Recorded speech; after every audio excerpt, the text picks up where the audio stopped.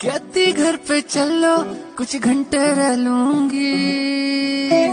हाँ, घर पे लूडो